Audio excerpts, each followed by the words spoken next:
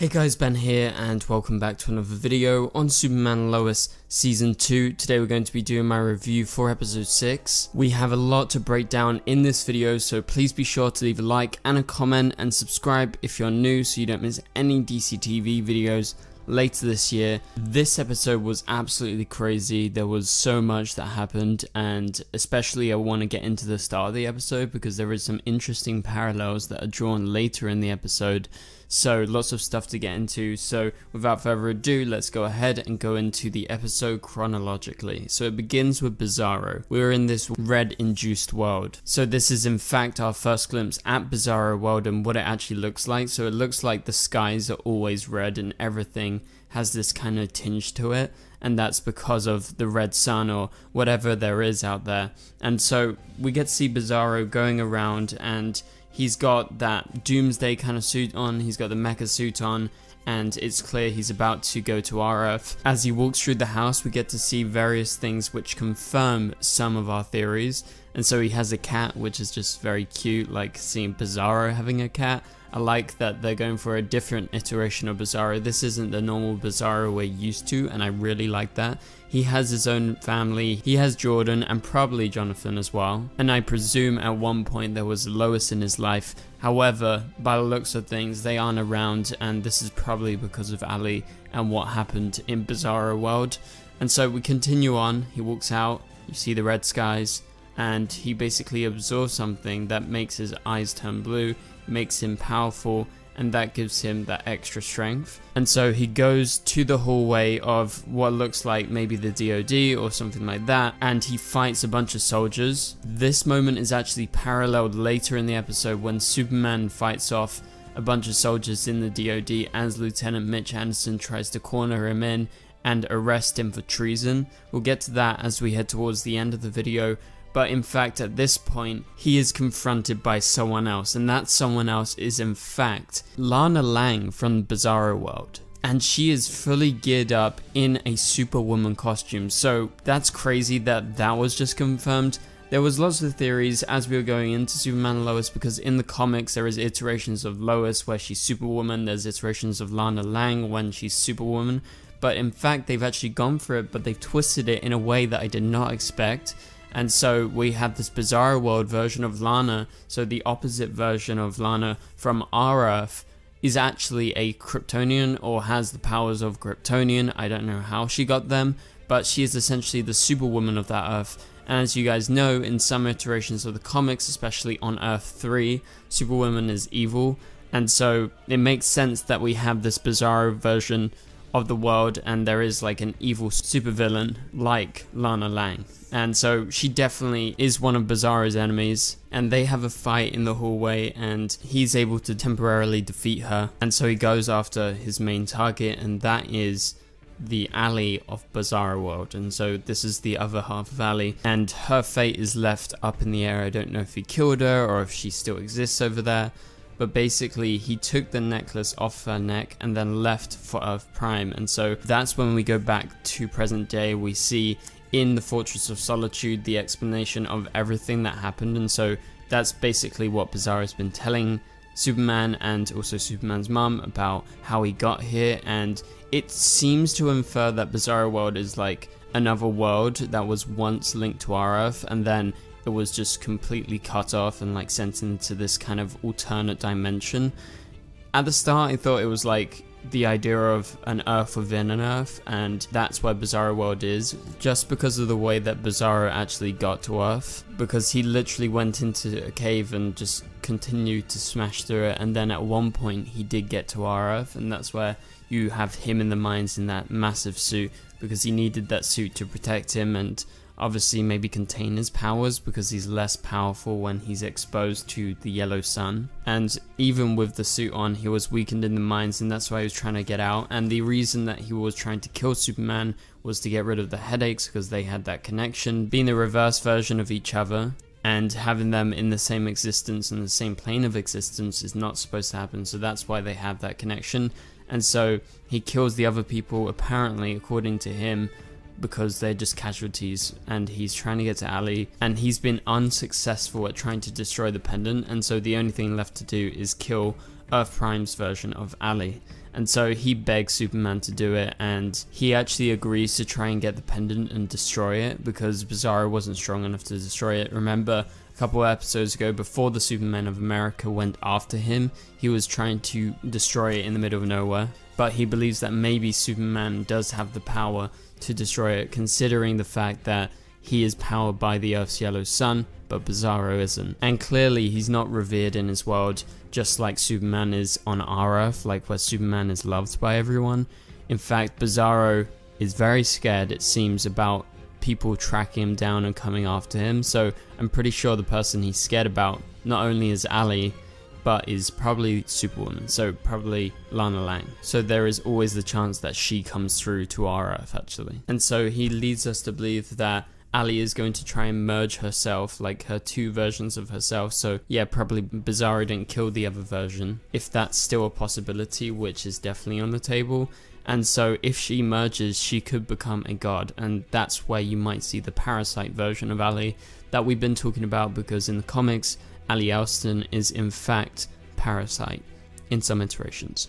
And so then we move on past here and we have Lieutenant Mitch Anderson being told what's up by his superior. So he's basically forced to think on his toes and he comes up with a new idea later in the episode of how to actually get through and get Bizarro in order to not be having these powers who are stronger than him breathing down his neck anymore. But let's talk about the Kent side of this episode. So we have Jordan and Jonathan, they go through a lot. We have the X Kryptonite saga with Jonathan basically going to his match, he inhales X Kryptonite, and just before that, Jordan spotted the inhaler and Jonathan blamed it on his girlfriend having asthma, but obviously that's not the case. And, you know, his girlfriend like pops up every once in a while and she's pretty much like vying for him and, you know, all the drugs and stuff because she is the dealer. And so obviously some conflict comes into play when Jordan finds out that Jonathan has been taking X Kryptonite because one of his friends and one of Sarah's friends basically says that Timmy, who is being investigated by the police because of him taking X Kryptonite, have been using X Kryptonite with an inhaler and Jordan remembers, oh yeah, Jonathan had an inhaler and this is probably why he got chosen for the football team. So then they go into a confrontation towards the end of the episode. So I thought this episode was very good in terms of the Kent stuff and, you know, Lucy and Lois and what happened with them. And so I like the conclusion that we got with Jordan and Jonathan because, you know, Jonathan obviously is quite desperate and he wants to be, you know, more like Jordan and also be able to be good on the field. And that's pretty much all he cares about right now. Like, he wants to be as loved and as admired by everyone as Jordan is right now because of his powers. So he wants to be Kryptonian but he also wants to be a good football player and be chosen all the time, and so he thinks the only way to do that is by taking the X Kryptonite. But let's move on to the next thing. So General Lane shows up and Lucy Lane returns. So very happy to see her back. I wasn't sure if she was coming back this episode or when she was coming back. But basically, they get into a fight right away when Lucy sees Lois and vice versa. However, Lane breaks it up and he's like, Look, just be a family, be sisters. Just don't talk about the Ally and stuff for now. And everything goes good for most of the episode. Like she reunites with Jordan, Jonathan, and also Clark, and they talk about football. And it looks like they're having a really good time, and she's fitting in. And then she even goes to the football game later.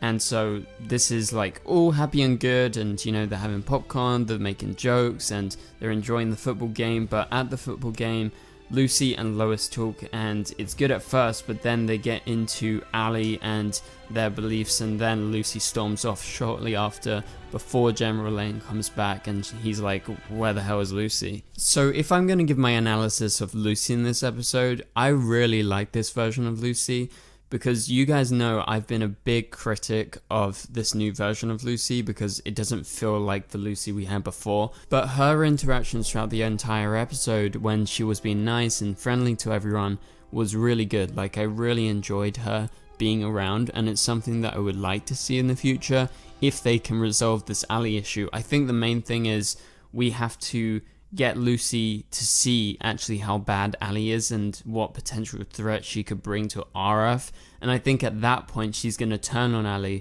and she's going to side with Lois and Clark and everyone else and I think she's going to be a good character and be on our side and kind of change. And I'm looking forward to that episode. I don't know when that's going to come, but sometime down the line as we get closer to trying to stop Ally. We don't really see Ally in this episode apart from the Bizarro version of Ally, but I'm sure we're going to go much more into her in the next couple of episodes let's move on. So we have a funeral for the Superman of America. One of the parents of one of the soldiers gets completely mad and slaps Lieutenant Mitch Anderson. Obviously very rightfully so because he just risked their lives without analyzing the threat. And so at that point it seems like Superman and him are finally on kind of good terms as Superman reveals that he's actually captured Bizarro.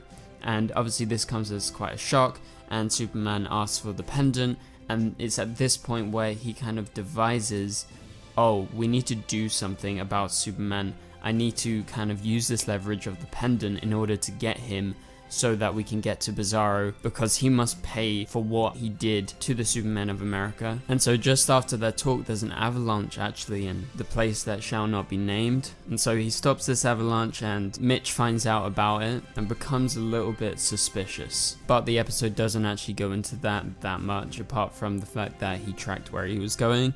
And so then we move back to Jordan who's at school after a talk with Jonathan briefly he sees Sarah and they sit behind each other in the classroom and so they have like a little chat about what happened and she's scared for her mum and we hop over just after this as Kyle returns to their house and talks to Lana. So in this episode in regards to that storyline a lot goes down because obviously Lana is coming to grips with what's actually happened and she talks to Clark at one point and he recommends maybe you should talk to the lady at the bar who cheated with Kyle to try and listen to her side of the story.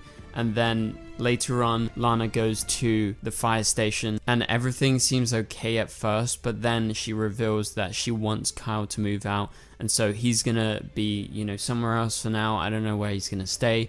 But this isn't obviously like a finalized thing as Lana is trying to realize what has actually happened and how she actually feels about it, and specifically how she feels about Kyle. So it's a natural reaction, I feel. I like this part of the episode. I think her reaction is good because I guess she's kind of taking into account all the possibilities and what actually went down. And the fact that, you know, he stopped after Sarah's incident to help his family. I think that kind of boosted him up a little bit in Lana's books. But Obviously, there is nothing to excuse, and I think Lana's reaction is right. So let's move on beyond this. As we head towards the end of the episode after the football match, Clark has to run out, and it's because he got a signal from Lieutenant Mitch Anderson to come to the DoD, and actually, he is trapped. He is put in this hallway that we saw in the Bizarro world before, where Bizarro had that fight.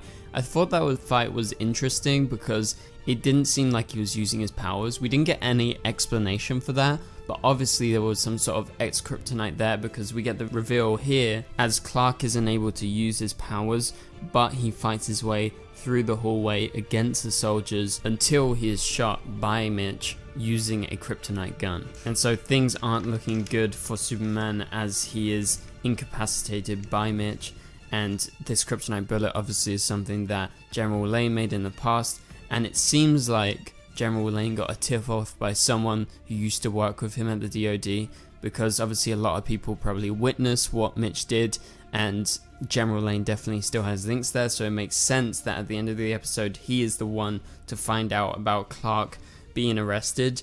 And so obviously his reasons for arresting him aren't actually true like he hasn't committed treason or anything like that but he's basically using his imprisonment as leverage to try and get to Bizarro, as like I mentioned before, he will do anything in order to prove that he is able to stop this threat, and he basically is trying to atone for the mistakes with the Superman of America by stopping Bizarro and capturing him once and for all, and he will go as far as capturing Clark, and so Clark is going to be going to Tal Rho's prison, so we're going to probably see Tal Rho next episode, which is going to be interesting but I wonder how they break him out. Is it going to be a Jordan mission? I think General Lane is going to be heavily involved because obviously he hasn't been arrested under like proper circumstances. He was attacked, he was cornered, and he was falsely arrested. So Mitch has a lot of potential to get into big trouble here from the government. So what an episode that was. So much went down. I can't wait to find out what actually is going to happen to Bizarro next episode and how Superman is going to get out. It'll be interesting to see if they're able to track down where Bizarro is I would presume they're probably going to try and torture Superman in order to get the information out of him because as of right now, he hasn't revealed where Bizarro is, and that's obviously what they're trying to go after. And they don't know the location of the Fortress of Solitude, only Superman, Lois, and Jordan know about it. So I wonder if they try and get through to Lois if they're unable to break Superman to find out where it is. Or maybe Tal-Rho is the one to reveal the location of the fortress in order to get on the better side of Lieutenant Mitch Anderson, maybe to gain some leverage. But yeah, so much went down, and I'm looking forward to next episode. I really, really like this episode. I think it's definitely one of the better episodes of the season, and I think it's a very solid season.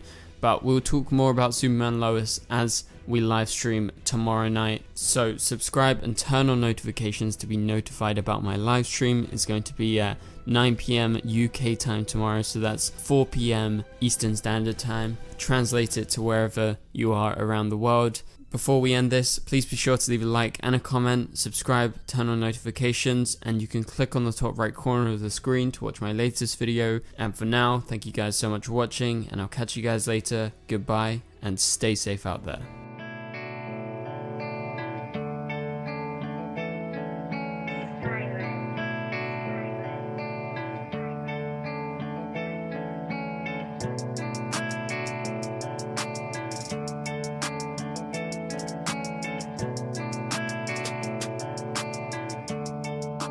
I see red.